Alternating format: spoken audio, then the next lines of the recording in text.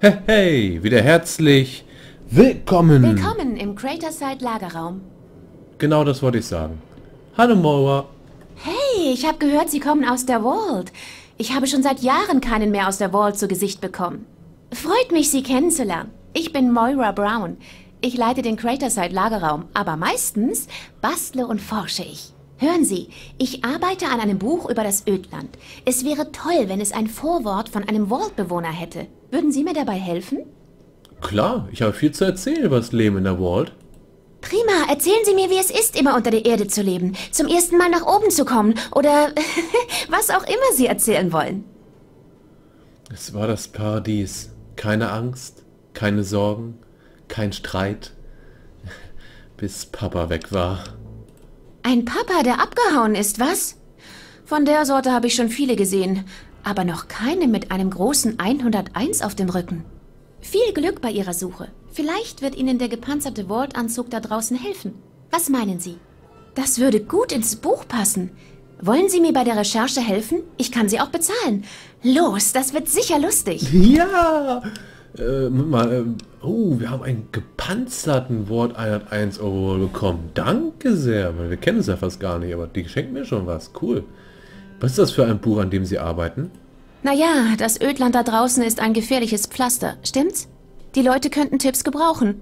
Sowas wie ein Ödland-Überlebenshandbuch. Darum brauche ich einen Assistenten, der meine Theorien testet. Ich will keine Verletzungen durch Fehler. Das bringt keinem was. Nein, dann schreien sie mich dauernd nur an und sagen ganz, ganz böse Dinge zu mir. Hm, hört sich nach einer guten Idee an. Ich helfe gerne. Was für ein Enthusiasmus. Also gut, ich denke, das erste Kapitel sollte sich mit dem Überleben angesichts der tagtäglich lauernden Gefahren befassen. Es geht um verschiedene Themen, wie und wo es Essen gibt, die Gefahren der Strahlung und wie man Landminen vermeiden oder sogar nutzen kann. Uh, das klingt nach Spaß, oder? Was kommt als erstes dran? Ähm, äh, Essen holen klingt nicht schlecht. Äh. Essen holen klingt nicht schlecht. Was brauchen Sie denn? Naja, Lebensmittel und Medikamente braucht jeder an und wann, richtig? Das A und O bei der Sache ist ein Ort, wo man sie leicht findet. Nicht weit von hier ist ein alter Super-Duper-Markt. Ich muss wissen, ob es an einem solchen Ort noch Arzneien und Lebensmittel gibt. Okay, ich sehe im Super-Duper-Markt nach. Super, Lebensmittel sind das Wichtigste, aber Medikamente wären auch nicht schlecht. Und wenn Sie nichts finden, kommen Sie zumindest heil zurück, okay? Äh, da haben wir noch gar nichts gemacht. Mal daran gedacht, die Bombe zu entschärfen? Hm? Das kann ich nicht tun. Für die netten Leute in der Kirche wäre das eine riesige Enttäuschung. Hm. Außerdem ist es ja nicht so, dass diese Bombe schon mal jemanden verletzt hätte. Leben und leben lassen. Richtig? Richtig. Ähm, kann ich Sie etwa, kann ich Sie was über Ihren Job und den Sinn meiner Recherchen fragen? Fragen sind immer willkommen. Ich bin wie ein offenes Buch. Was wollen Sie denn wissen? Hm, warum können Sie diese Nachforschung nicht selbst anstellen? Ach, ich habe nicht annähernd die Wüstenerfahrung, die Sie haben. Hm? Wenn ich auch nur die Hälfte dieser Dinge versuchen würde, gäb's mich nicht mehr. Sie machen wenigstens den Eindruck, als könnten Sie da draußen bestehen. Ich kann nur gute Ideen schmieden und mit Schrott für die Karawanen handeln. Äh, ich bin gerade mal eine halbe Stunde außer Vault. Ähm, es ist wirklich nett von Ihnen, dass Sie den Leuten so helfen. Nun, ich dachte, statt nur mit altem Schrott den Karawanen zu helfen, könnte ich meinen brillanten Geist doch für das Wohl aller einsetzen. Und mit meinem Geist und Ihrer Erfahrung wird dieses Handbuch ein Dutzend mehr Leben retten, als diese habgierigen Kaufleute es jemals tun werden. Nun, ich bin stolz mit von der Partie zu sein. Sie können auf mich zählen. Weiter so, mein treuer wissenschaftlicher Assistent. Äh, ähm, verkaufen Sie hier irgendwelche speziellen Gegenstände? Ich habe die Baupläne für einen sogenannten Rocketwerfer. Ich verkaufe auch alle Komponenten. Sie können die Waffe also selbst bauen. Keine Sorge wegen der Munition. Dieses Baby verschießt jeden Schrott, den Sie im Ödland finden. Aschenbecher, Teddybären, was auch immer.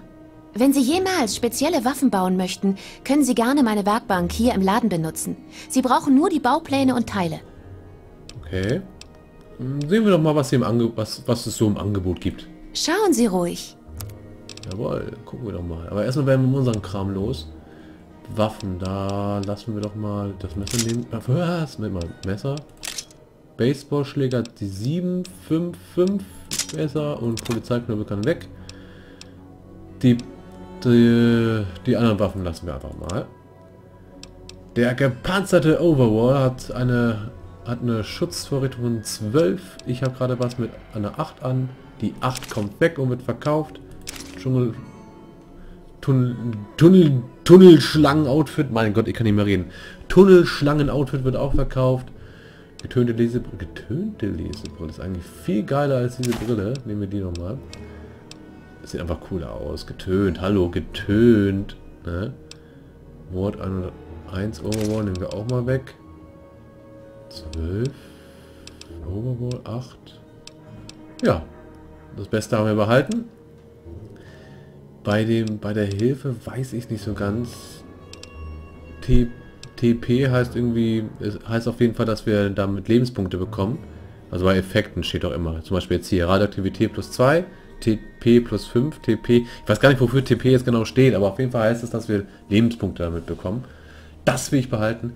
Bier hat nichts. Ein bisschen Charisma ein bisschen Stärke mit. Aber trotzdem, wir verkaufen das alles mal. Hier hast du Bier. Blutpaket. Bremen Steak. Buff Out. Bringt wahrscheinlich kurz mal was. Eichhörnchen und Stiel. Instant Püree lassen wir auch mal. Jet. Ähm, verkaufe ich mal. Medics. Schadenresistenz plus 25. Lass ich. Ich lasse doch sonst. Nuka Cola Quantum. Radioaktivität plus 9. Verkaufen wir auch mal. Radix, Strahlenresistenz plus 58. Scotch wird und der Wein wird auch verkauft. Alkohol und Zigaretten werden für mich von mir nur eingesammelt, um sie zu verkaufen. Eine Lunchbox. Hier hast du noch ein paar Zigaretten. Ich hoffe, du rauchst. Munition. Oh, Munition wiegt nichts. Nehme ich also alles mit. Gut, 182 Kronkorken akzeptieren. Wir sind 182 Kronkorken reicher. Sie hat mehr Schrott. Gute Jagd. Dankeschön. Können Sie meine Rüstung repar Ausrüstung reparieren? Wenn Sie die Kronkorken haben, kann ich das sicher tun. Obwohl Munition, na, noch habe ich nicht alle Waffen. Also noch habe ich wenige Waffen. Ich möchte erstmal ein paar Waffen sammeln und gucken, was ich eigentlich so benutzen möchte, bevor ich die verkaufe. Äh, bevor ich die Munition dazu verkaufe. Erstmal, Muni erstmal Munition haben, dass wenn ich eine Waffe bekomme, ich die Munition auch gleich für diese Waffe habe. Versteht ihr? Wenn nicht, habe ich euch jetzt gerade umsonst die Ohren vorgesäuselt. Reparieren, rep alles reparieren, 44. Ach komm, machen wir doch mal, ne? Zack, Dankeschön. Vielen Dank. Ich muss jetzt los. Sterben Sie mir nicht. Nein, das doch nicht. Ich könnte auch Munition kaufen, ne? Habe ich noch genug Munition? Habe ich geguckt? Äh, Munition. 21 Schuss. 89 Schuss. 5 mm. Was? Ach komm, was soll der? Was, was soll das eigentlich? Munition. Das Luftgewehr. Pfeile. Wir, haben, wir verkaufen mal die Pfeile und die 5 mm Schuss. Die brauchen wir nicht. Die 44er Schuss auch. Das ist auch so wenig, ne? Äh, ach komm. Mara. Und? Wie lief die Plünderung? Haben Sie die Lebensmittel und Arzneien aus dem Super-Duper-Markt? Ich muss erst noch... Ich werde mich darum kümmern, wenn ich Zeit dafür habe, okay? Nein, das geht nicht. Jeder Tag, an dem Sie mir bei dieser Forschung nicht helfen, ist ein weiterer Tag, an dem Menschen sterben könnten. Maura, wir haben... Ohne Forschung kann ich nichts schreiben. Sonst befolgen die Leute falsche Ratschläge und sterben erst recht. Machen Sie sich an die Arbeit. Maura, ich bin gerade... Ich bin ja nicht mal aus dem Haus. Ah. Na klar doch. Erstmal wissen...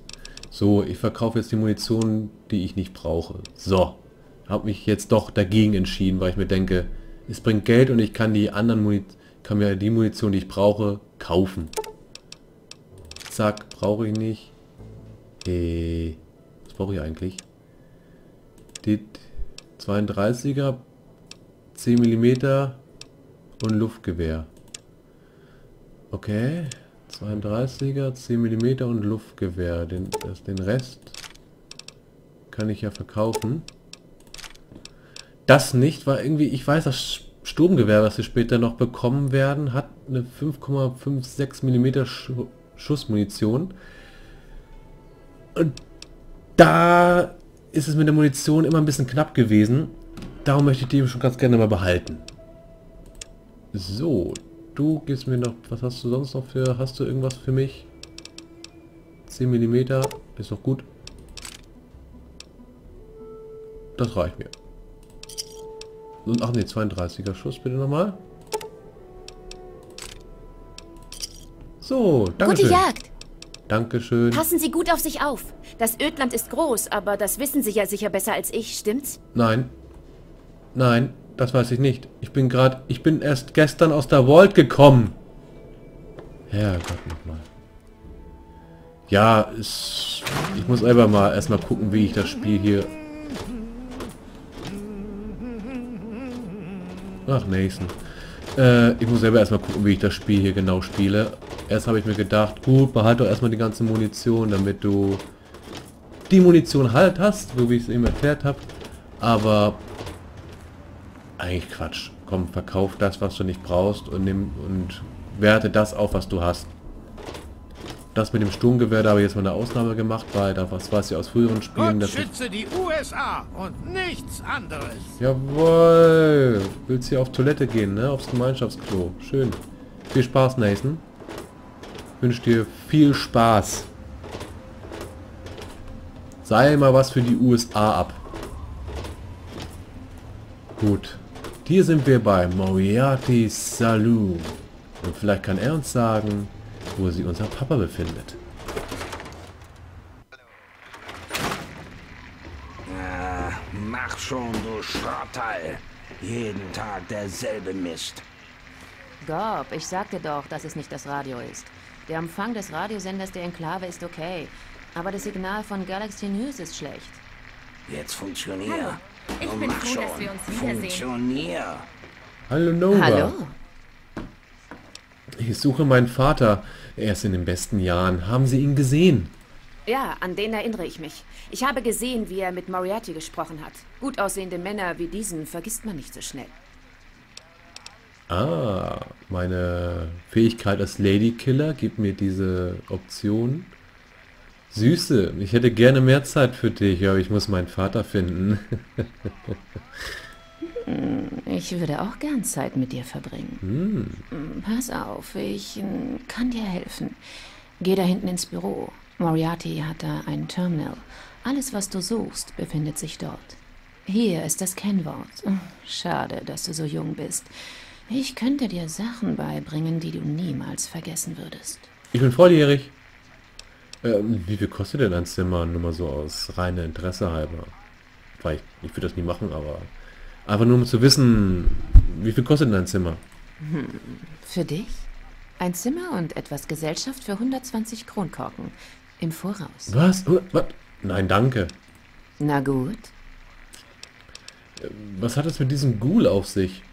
Redest du von Gorb? Wenn man mal sein Aussehen außer Acht lässt, ist er ein echter Schatz.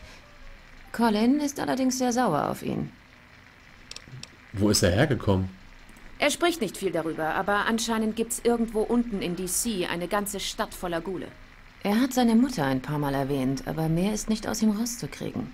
Er ist jetzt seit äh, ungefähr 15 Jahren hier, seitdem Moriarty ihn diesen Sklavenhändlern abgekauft hat. Hast du jemals äh, mit ihm gearbeitet? Ob ich auch mit Gorb zu tun habe? Ach, er ist sehr nett und ich weiß, dass er gerne. Naja, ich will ja nicht oberflächlich klingen oder so. Ich meine, ich bin eine Hure. Meine Ansprüche sind nicht gerade hoch. Also, es gibt Leute, mit denen nicht mal ich mich einlassen würde. Typen, die matschiger sind als ich, gehören dazu. Wieso ist Moriarty so streng mit ihm? Tja, keiner von uns mag den verdammten Bastard.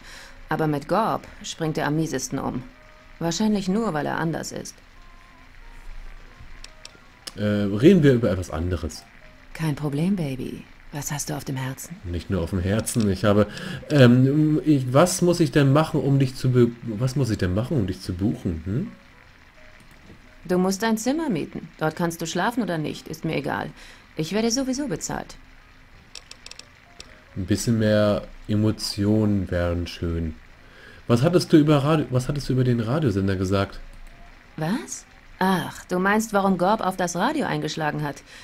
Nun ja, hier in der Wüste gibt es zwei aktive Radiosender. Zum einen ist da der Radiosender der Enklave. Keine Ahnung, wer dahinter steckt, aber hört sich an wie eine aufgezeichnete Vorkriegssendung. Außerdem gibt's das Galaxy News Radio.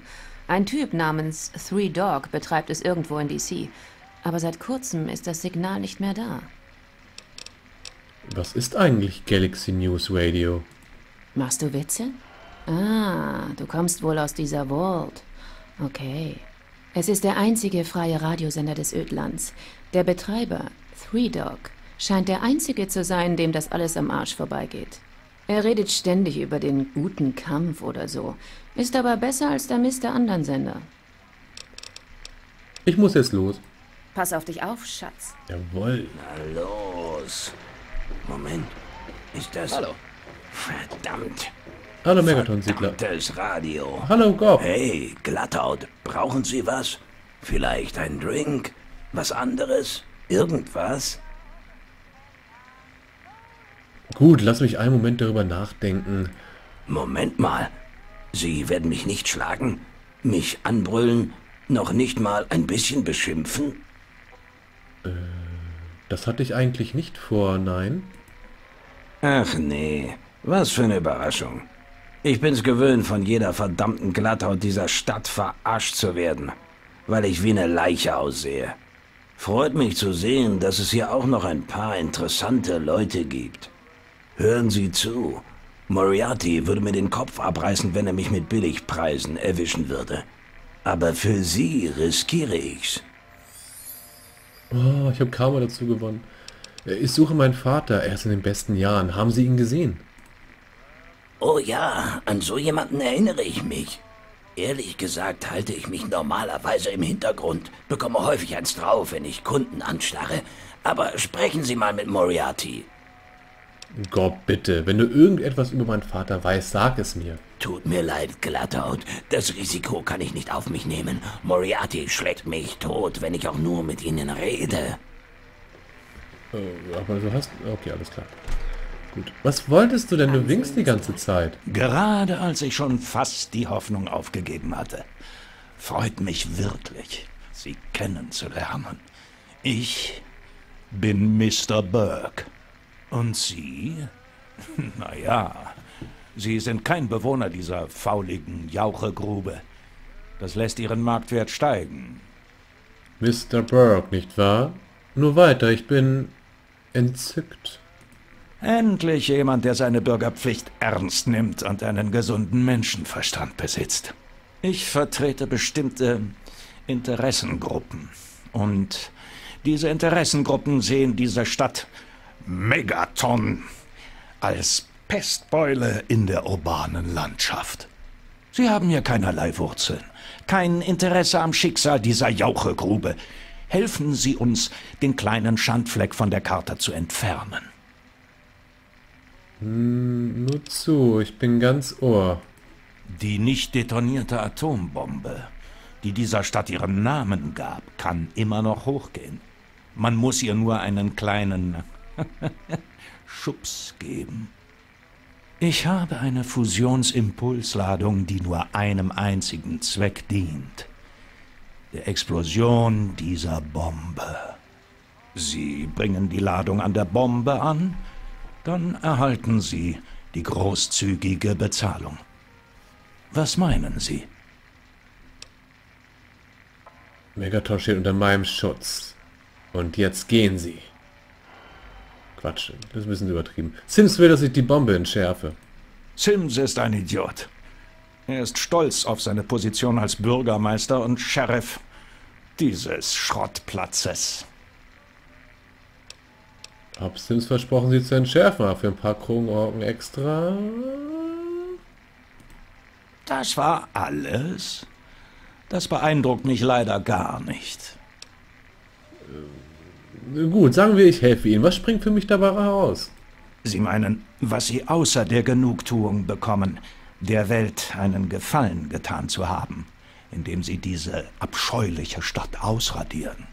Nun, Sie würden sehr großzügig belohnt werden. Mein Arbeitgeber ist nicht geizig. Wenn Sie Kronkorken und Luxus wollen, kein Problem. Hm, Megaton steht unter meinem Schutz. Und jetzt, und jetzt gehen Sie. Oh, verstehe. Ich wusste nicht, dass es in Megaton außer dem unerschrockenen Sheriff noch andere Wächter gibt. Gut, dann gehe ich mal besser. Tis, alles andere kostet was. Jawohl, habe ich dir nicht genug gezeigt. Hallo. Lucy, ich, habe deinen Brief. Wiedersehen. Ja, ich habe deinen Brief noch nicht weggeschickt. Bin noch hier. Ich habe noch einen anderen Auftrag aufgenommen. Billy Queel, Billy Queel. Hast du ein Problem? Super Tag heute, was? Und ich laufe in... Oh nein, ich laufe die ganze Zeit in Unterwäsche rum. Ähm, nehmen wir mal den gepanzerten Overall und die getönte Sonnenbrille. Das sollte eigentlich jetzt besser aussehen, oder? Ja, es sieht besser aus. Ja, ich habe die ganze Zeit in Unterwäsche rumgelaufen. Verdammte Axt! Jemand Neues. Sehr erfreut. Ich bin Billy Creel. Oder einfach Billy. Ich weiß, dass Megaton eher einem Friedhof gleicht als einer Stadt, aber ganz übel ist es hier nicht. Ich und Maggie etwa. Wir kommen blendend zurecht. Ich handle mit dem Zeug, das ich sammle, und sie hilft mir, auf der rechten Bahn zu bleiben. ähm, wer ist Maggie? Oh, tut mir leid. Da habe ich mich wohl selbst übertroffen, was? Maggie ist neu und ein süßes kleines Mädchen. Wir sorgen füreinander. Wenn ich eine Tochter hätte, sollte sie wie Maggie sein. Ich kümmere mich um sie, seitdem ihre Eltern vor zwei Jahren von Raiders ermordet wurden. Es war ziemlich schrecklich. Kleine Siedlung im Norden. Ich wollte dort handeln. Von dem Ort war nicht mehr viel übrig. Ich fand Maggie in ihrem Versteck hinter einem Bett, in dem Zimmer, in dem ihre Eltern getötet worden waren. Seitdem ist sie bei mir. Ähm, wissen Sie etwas über den Bereich außerhalb von Megaton? Ich weiß nur, dass ich zu viel Zeit da draußen verbracht habe.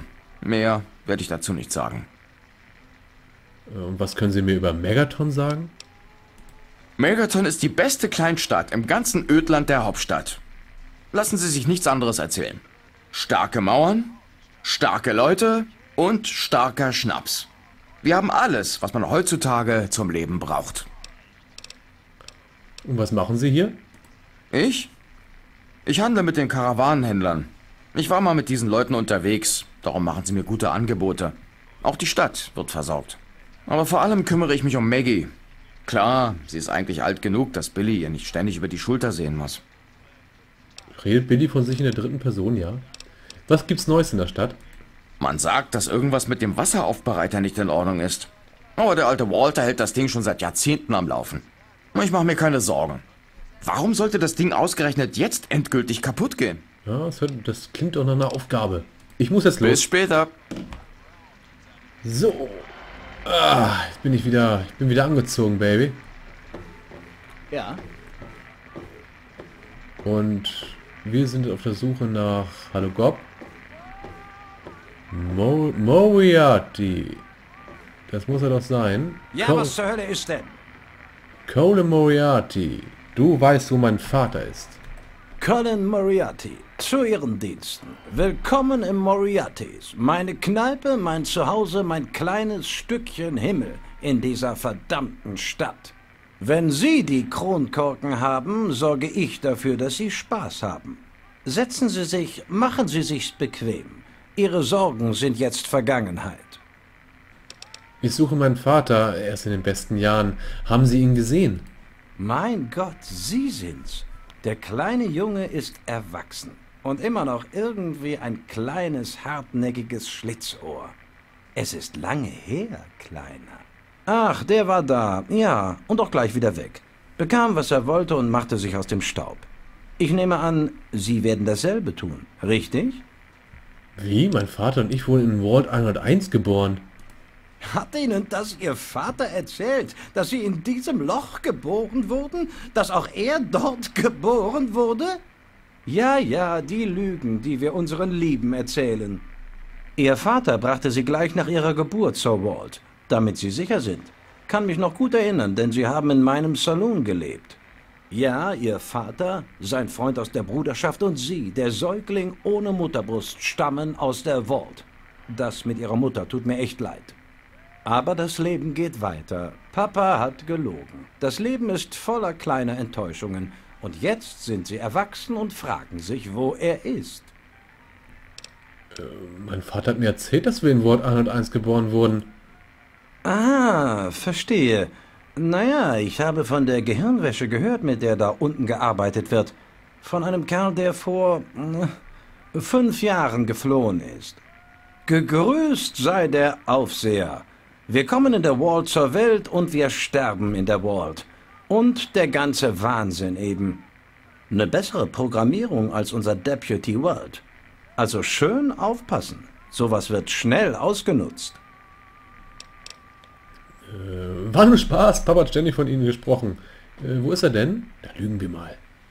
Wenn jemand bei mir einen guten Eindruck hinterlässt, lege ich gern die Karten auf den Tisch. Ihr Papa war hier und jetzt ist er es nicht mehr. Und ich weiß, wo er hin ist. Aber Sie verlangen da Infos. Und Infos sind Handelsware. Und wie bei allen Handelswaren gibt es einen vernünftigen Marktpreis. Aber was ist vernünftig? Sagen wir 100 Kronkorken. Und Sie wissen, wo Papa ist. Ich hab keine 100 Kronen Korken. In Ordnung. Dann haben wir uns wohl nichts mehr zu sagen. Kommen Sie wieder, wenn Sie genug Kronkorken haben. Dann können wir reden. Alter, ich hab zwar 100 Kronen Korken, aber sitzt da nicht so dicht am Bildschirm. Da krieg- da kriegst du viereckige Augen. Aber ich will ihm keine 100 Kronen Korken geben. Vor allem, weil wir auch noch das Kennwort haben. Womit wir wahrscheinlich diesen Terminal hier bearbeiten können. Moriarty ist nicht leicht. Und jetzt werden wir gleich mal sehen. Mist. Ich dachte, er geht aus dem Zimmer, sonst hätten wir nämlich gleich den äh, Terminal anfassen können. Ich werde mal... Werden wir, uns auf, werden wir uns dem Terminal widmen? Oder werden wir nochmal Moriarty versuchen zu knacken? Das werde ich mal im nächsten Part versuchen. Vielen Dank fürs Zusehen. Ciao!